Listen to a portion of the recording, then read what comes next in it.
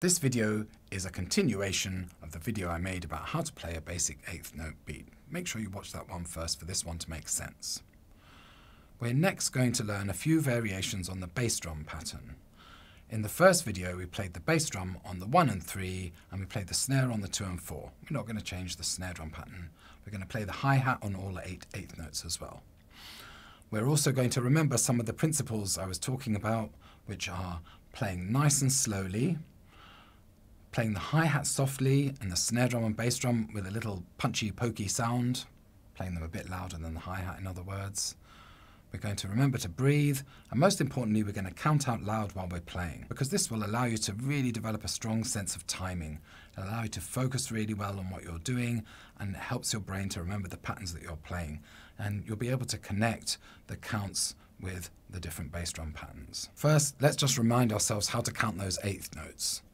One and two and three and four and one and two and three and four and one and two and three and four and one and two and three and four and. Remember that this counting provides us with a framework upon which we're going to place the different sounds that we're making with the snare, bass and hi-hat in this case.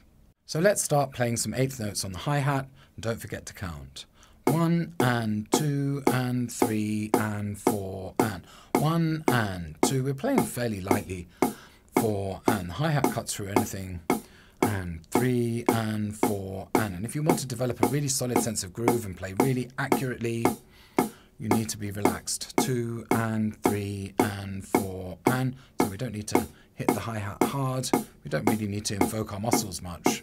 We're using gravity mostly one and two and three and four and then we played originally the bass on the one and the three one and two and three and we add the snare on the two and four. One two and three and four and one and two and three and four and and two and three and four and one and two and three and four and. Next we're going to just add an extra bass drum on the and after the one and the and after the three. I call that the one and and the three and, meaning we're going to play a pattern that sounds like this. One and two and three and four and one and two and three and four and. So slowly we're going to count out loud. One and two and three and four and one and two and three and four and one and two and three and four and one and two and three and four and. Some people will be able to just play that straight away without any trouble. If you are not lucky enough to be one of those people, you might have to break that down a little bit if you find the coordination at all tricky. So you can think about playing two bass drum notes and two hi-hat notes at the same time together. And I would count it. One and. And just do that a few times. One and. One and. And understanding how to break things down can be really helpful for anything that you learn at any level, really. One and. After you've done that a couple of times, add the snare, two and. In this case, we play snare and the hi-hat together, and then one hi-hat note on its own.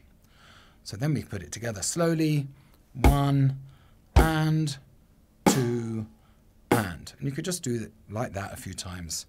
One and two and.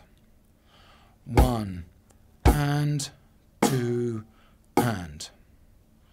One and two and. One more time.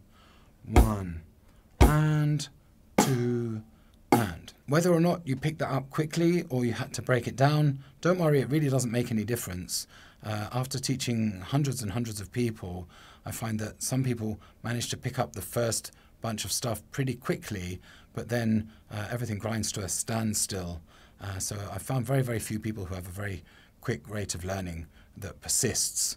Um, so if you think some people are learning faster than you, don't worry, it doesn't really mean anything uh, take your time and get yourself comfortable with, with what you're learning.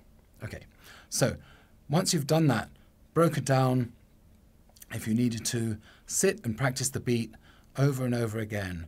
Relax, try and remember to breathe and make sure that you're counting out loud. Okay? Um, when you're counting and breathing, maybe you need to learn how to coordinate that a little bit. Counting when you're first learning this stuff can make it feel a little bit tricky, but I promise you it's worth doing. So let's play the beat a little bit.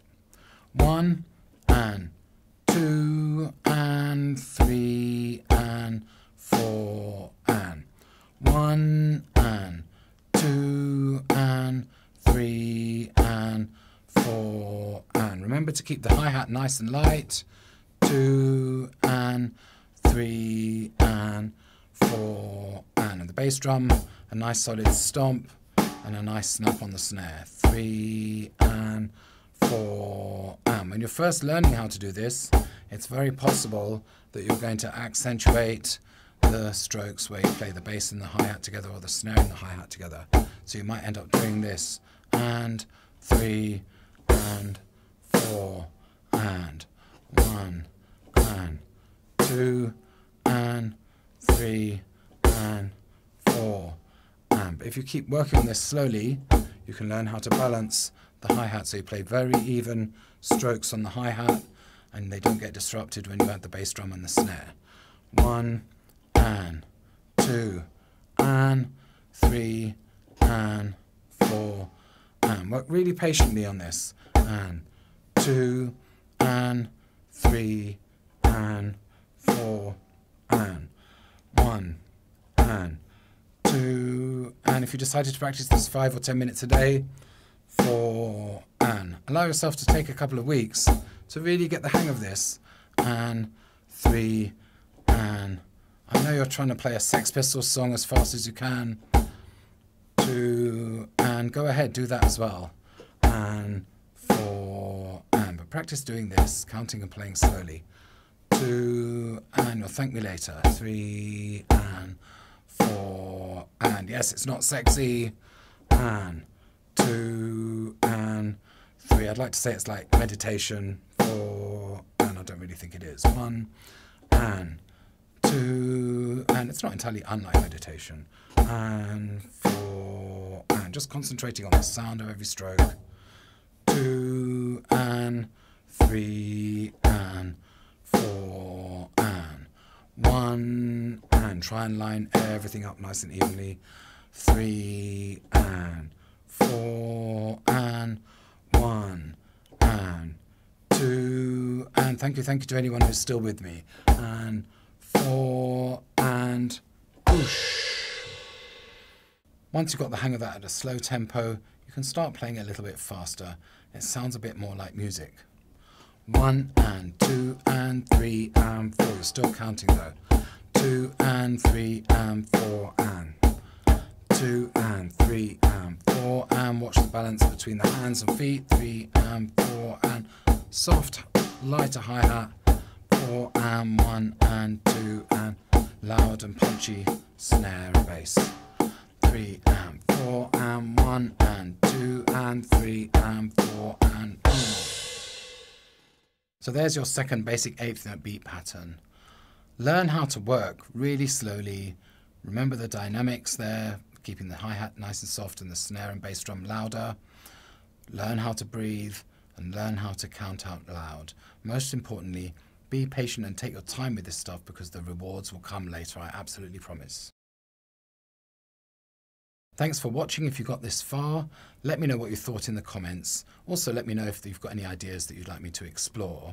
And uh, why not subscribe if you'd like to see the future videos that I'm going to be offering. Meanwhile, go away and practice.